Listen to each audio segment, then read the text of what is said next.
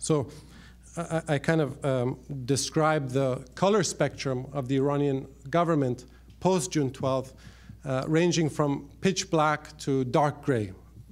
And I think a good litmus test of this is uh, the current Speaker of the Parliament, Ali Larijani. If you were following the Western media 10 years ago, Ali Larijani was described as an arch hardliner. Uh, today you read about him in the New York Times as a moderate or a pragmatist. So see how, how uh, this rightward shift has taken place. Now, I think for uh, the, the current clique in power, and I would describe them as a cartel, a cartel of hardline and nouveau riche revolutionary guardsmen and hardline clergymen. Uh, one thing that's very central to their identity is enmity towards the United States, particularly for Ayatollah Khamenei. Uh, he believes that opposition to the United States was a very important pillar of the 1979 revolution, and again, it's inextricably linked to their identity as an Islamic republic. Um, to, to, give you one example of this, when I was based in Tehran several years ago with the International Crisis Group, uh, I remember in 2005, the United States finally lifted its veto to Iran's accession to the World Trade Organization. And that day I happened to be in the office of a fairly senior Iranian official who had a PhD in economics from the United States.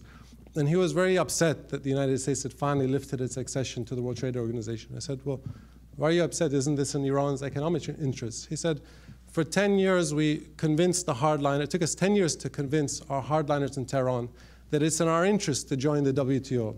And now that the US has finally lifted their veto, they think it's probably not in our interest because the United States allows us to join. So for many of these individuals in Tehran, they kind of define their Iran's interest by that which is opposed to the United States. Now, Khamenei um, rules by consensus, not decree. Uh, but again, what's transpired post June is that he's surrounded himself by with individuals whose default position is essentially defiance uh, and escalation. And uh, the figures that were in the government in, in prior years, whether Mohammad Khatami or Hashemi Rafsanjani, are, are, are, not anymore uh, uh, in these key decision making structures.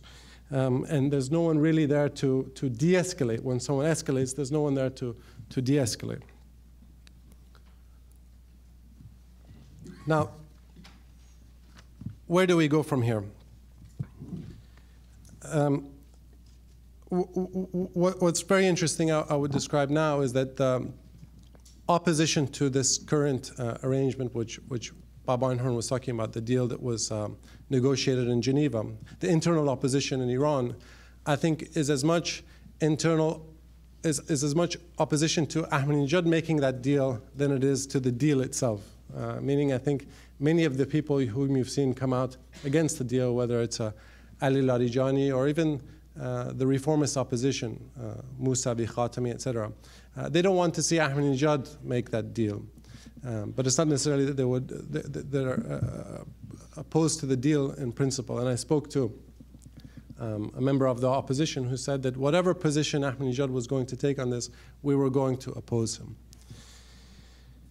Now, I, I, th I think that uh, that being said, th there's reasons for the Iranian government to um, at least feign an interest in compromise or feign an interest and has an interest in pro prolonging these ne negotiations. I would say, first of all, um, the regime has, uh, is in an unprecedented crisis. Uh, something truly is historic, of, something truly historic is afoot in Iran. Uh, we've seen uh, popular uprisings like we haven't seen since 1979. Um, and while there's so much internal unrest, it may make sense for them at various points when they feel vulnerable um, to feign an interest in compromise, to stave off that external pressure uh, until they can try to get their internal house in order. Uh, a second reason I think that they may feel compelled at some points to, to compromise is uh, in search of legitimation, in the sense that uh, when at home uh, the government um, is perceived by a large chunk of the population as an illegitimate government, uh, one way that Ahmadinejad may try to uh, redeem himself in the public eye is to show that great powers have legitimized this, uh, that we're in negotiations with the United States, they've legitimized this. Now, in terms of, again, where we go from here and what is the view from Tehran, I would say that there's uh, a few points, some, are, some of which I think are, are, problematic from the US vantage point, and others which I think will make it very difficult to reach some type of a modus vivendi. Um, I think first, um, from the Iranian vantage point, they believe that their enrichment, indigenous enrichment, is now a fait accompli. Um, that's no longer what's being negotiated. This may be enshrined in foreign UN, four UN Security Council resolutions that Iran must cease enrichment, but from their vantage point, that is not, no longer what is being negotiated. They believe the Obama administration uh, has come around to accept the idea of enrichment on Iranian soil. Second, I think that uh, Iran has backed itself into a very awkward position in the sense that its primary ally now is Russia a country in which there's tremendous mistrust of, uh, both uh, at an elite political level in Iran, uh, but also at a popular level. Uh, there's perhaps uh, no country, if you look at the last century of Iranian history, there's perhaps no country that, um, from the vantage point of the Iranian people, one would argue they've, they've been uh, less sympathetic to, to, to the will of the Iranian people, going back to the 1906 constitutional revolution. And I think uh, if you've followed some of the street protests in recent months, you notice that one of the chants which has really taken root is death to Russia. Um, third, I think this is another reason why it's going to make um, a compromise uh, uh, difficult for Iran or reaching a modus vivendi with Iran difficult is that on one hand, as I mentioned, Khamenei has surrounded himself by people whose default position is defiance and not compromising. Uh, on the other hand, one thing that's been his modus operandi the last two decades as leader is that you never compromise when you're under pressure. Um, in the face of pressure, whether it's sanctions, military threats, etc., never compromise. Because if you compromise, uh, that's not going to alleviate the pressure. That's going to project weakness and invite even more pressure.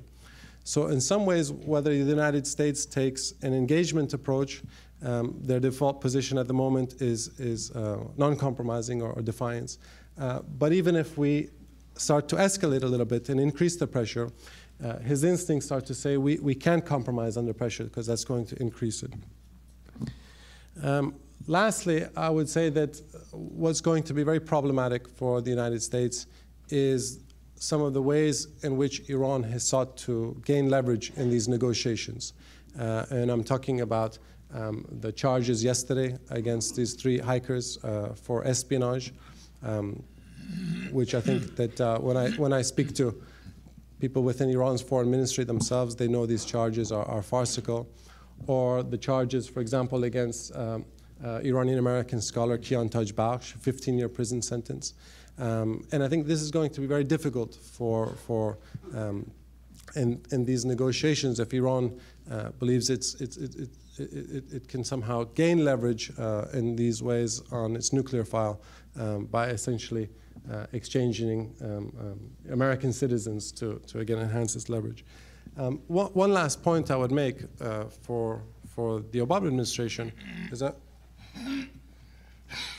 I think Bob Einhorn is absolutely right that the Obama administration's uh, engagement approach um, has reaped dividends in a way which the Bush administration's hardline approach didn't, in the sense that whereas the Bush administration's approach, I would argue, inadvertently uh, united Iran's competing factions against a common threat, I think the Obama administration's engagement approach has accentuated the internal divides in Iran, both amongst political elites, both between the regime and the people. Uh, but I think we've also made it clear to whether it's our allies in Europe or the Russians and the Chinese that it's not the United States which is the unreasonable, unreasonable actor in this equation.